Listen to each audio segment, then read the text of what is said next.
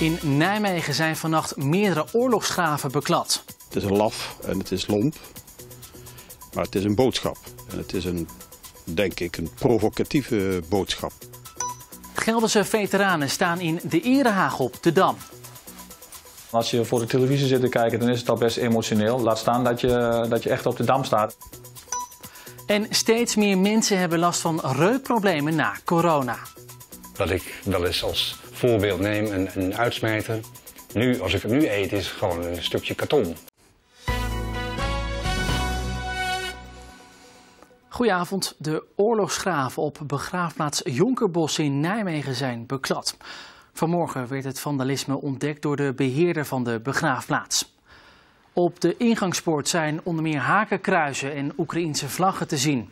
Verder op de begraafplaats zijn de graven zelfs beklad met teksten als Fuck Poetin. De politie is een onderzoek gestart. Op de begraafplaats liggen meer dan 1600 militairen begraven. Die zijn omgekomen in de Tweede Wereldoorlog. Ja, en bij de begraafplaats in Nijmegen staat verslaggever Michiel Fucking. Ja, Michiel, goedenavond. Hoe is er eh, eigenlijk gereageerd vandaag?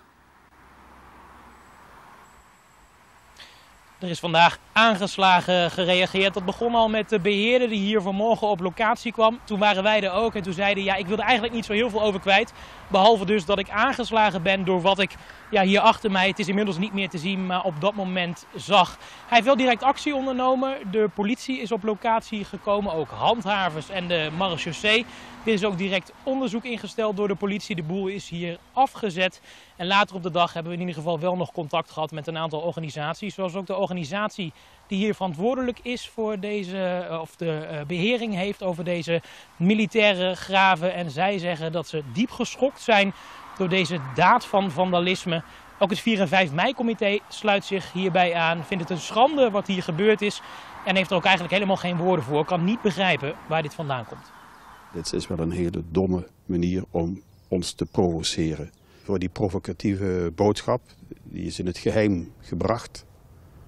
En die soldaten die daar gestorven zijn en begraven liggen, die zijn eh, in, in het volle daglicht eh, gesneuveld voor ons. En om hun graven te bekladden, dat, dat is onbegrijpelijk. Ja, we zijn nu een aantal uur verder. Wat is eigenlijk nu nog zichtbaar? Nou ja, zoals je kan zien hier achter mij, er zijn dus uh, witte hekken geplaatst. Ik zie inmiddels ook dat er in ieder geval een aantal bloemen zijn gelegd door mensen die toch stil willen staan bij 4 en 5 mei. Maar die hekken zijn eigenlijk begin van eind van de ochtend al uh, direct geplaatst. Ook de brandweer is hier op locatie gekomen. Dat deed het met een speciale schuimvoertuig om te kijken of ze die graven konden gaan schoonmaken. Want dat zou een zachte steen zijn en daarom moet je daar zorgvuldig mee omgaan. En is het heel moeilijk schoon te maken. Of dat ook gelukt is, dat kan ik niet zeggen. Want ja, er zijn dus witte schermen geplaatst. Maar in ieder geval is vandaag geprobeerd om die graven schoon te maken. En ja, mocht dat niet gelukt zijn, wordt er nog geprobeerd om het hier in ieder geval in uh, ere te herstellen. En dat die graven straks weer graffitivrij zijn. Verslaggever Michiel Fucking in Nijmegen. Michiel, dankjewel. Op het Nationaal Ereveld in Loenen zijn vanmiddag oorlogsslachtoffers herdacht. Op het Ereveld liggen bijna 4000 Nederlandse oorlogsslachtoffers, zowel militairen als burgers.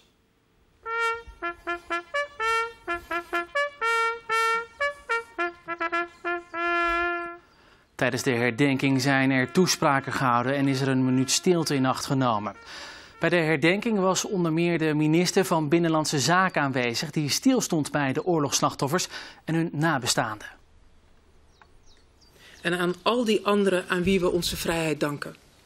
Laten we hen eren door die vrijheid te koesteren en ons te realiseren dat vrijheid nooit vanzelfsprekend is. Elke dag weer. Elke dag weer. En ook werd er een krans gelegd door een Joodse opperrabijn en de Duitse ambassadeur. Maar als bovenaan die top de afgod ik staat verheven en die ik ook in de lagere niveaus is gebleven, dan is vrede ver van ons vandaan en zal helaas oorlog blijven bestaan. En Elspet is waarschijnlijk de enige plek in Gelderland waar vandaag niet werd herdacht. Meer hierover leest u in de Omroep Gelderland app of online op gld.nl. En bij de nationale herdenking vanavond op de Dam staan ook twee Gelderse veteranen. Ze maken deel uit van de Erehaag. Ze moesten er lang op wachten, want twee keer ging de ceremonie niet door in verband met corona.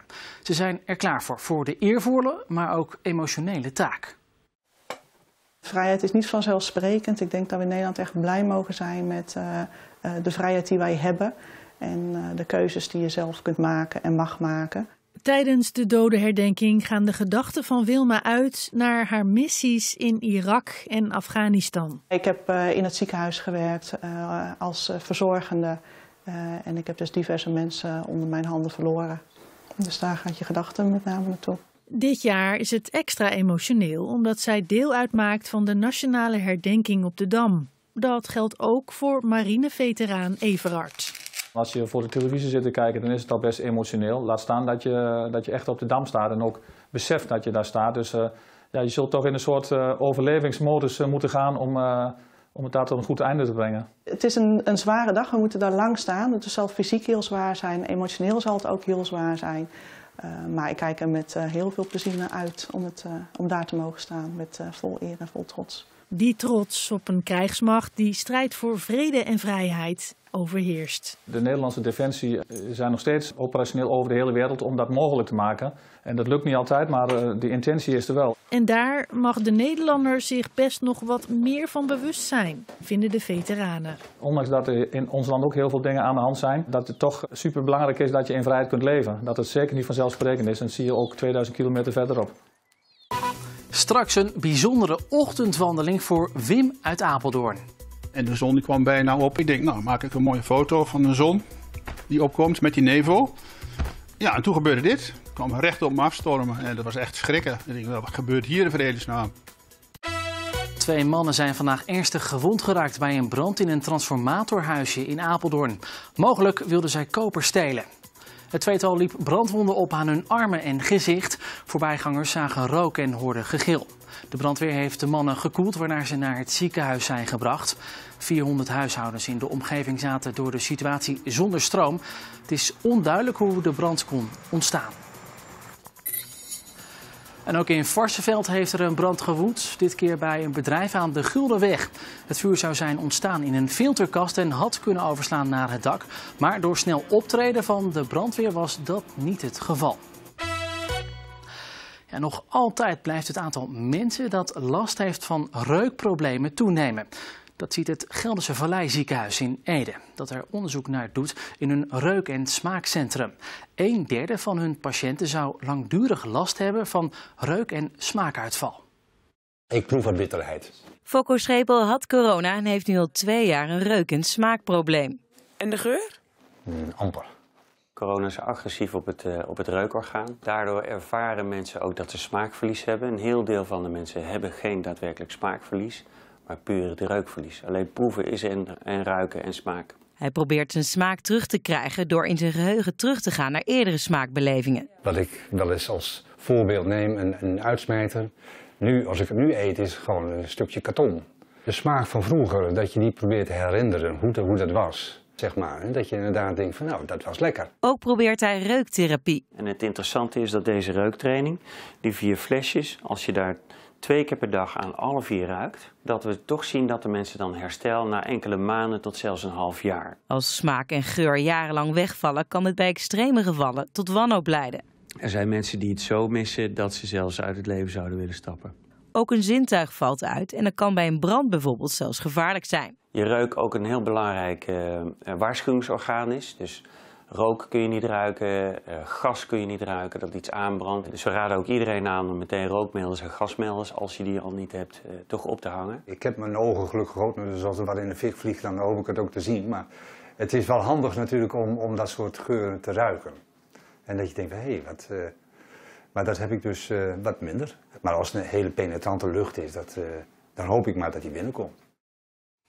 In Winterswijk is vanmiddag de eerste van vijf muurschilderingen onthuld, waarin de historie van het dorp wordt vastgelegd. Op de eerste muurschildering staat verzetsheld Helena Kuipers-Rietberg afgebeeld. Beter bekend als Tante Riek. Tijdens de oorlogsjaren hielp ze met het organiseren van onderduikadressen en redde ze vele levens van Joodse medeburgers en neergehaalde vliegtuigbemanningen. De vier rechtopstaande bladeren symboliseren de mensen bij wie het gelukt is. Die de oorlog door haar inzet, hun inzetten, hebben overleefd. En de verwelkte bladeren symboliseren eigenlijk de mensen waarmee het niet is gelukt, inclusief haarzelf. Want uiteindelijk is hij afgevoerd naar Ravensbroek en dat heeft ze dus niet overleefd. Later zullen in Winterswijk nog meer muurschilderingen worden onthuld. Onder andere van schrijver Gerrit Komrij en schilder Piet Mondriaan. Wim uit Apeldoorn wilde gisterochtend een mooie natuurfoto op de Veluwe maken. Maar het liep anders dan gedacht. Hij filmde namelijk een rauw stukje natuur. Wolven die een kudde edelherten opjagen in de hoop op een smakelijk ontbijt. Ik kwam recht op me afstormen en dat was echt schrikken. Ik denk, wat gebeurt hier in vredesnaam? Wim kan zijn ogen niet geloven als een kudde herten op hem afkomt stormen, net terwijl hij van plan is een mooie foto te maken van de opkomende zon en de mist. Ze konden niet rechtdoor, want het was een hek waar ik stond. Dus ze moesten of naar rechts of naar links. Nou, je ziet duidelijk op de film, splitsen ze zich op. En toen zag ik een wolf en ik dacht, wow, wat is dit? Dus ja, dat was wel exciting. mijn hart klopte er wel van. Hij stond er zelfs helemaal van te shaken, maar niet uit angst. Nee, nee, nee, dat was van excitement, niet van angst. Ik bedoel, angst is helemaal niet nodig. Ze zijn zo schuw voor mensen als ik weet niet. Nee, het is geen roodkapje verhaal, absoluut niet. Wim wil dat mensen beseffen dat wat hij heeft beleefd echt een toevalstreffer was. En dat ze nu niet massaal op zoek moeten gaan naar de wolf. Zo werkt dat niet met wolfjes. Het zijn geen konijnen die op een heuveltje zitten te wachten. En dan krijgt u nog het weer. En ik kan u alvast vertellen dat er mooi weer in aantocht is. Vanavond klaart het flink op, maar vannacht trekken er wat wolken over Gelderland. Het koelt af naar 6 of 7 graden. Morgen veel zon met hier en daar wat stapelwolken. In de middag lokaal kans op een bui. Het wordt met weinig wind maximaal 19 graden. En dan kijken we nog even vooruit. De aankomende dagen blijft het zo goed als droog. De zon schijnt regelmatig en in de middag is het vaak een graad of 20. En tot zover het Gelders nieuws van woensdag 4 mei. Meer nieuws uit onze provincie vindt u natuurlijk terug in de Omroep Gelderland app. Ik wens u nog een mooie avond en graag tot morgen.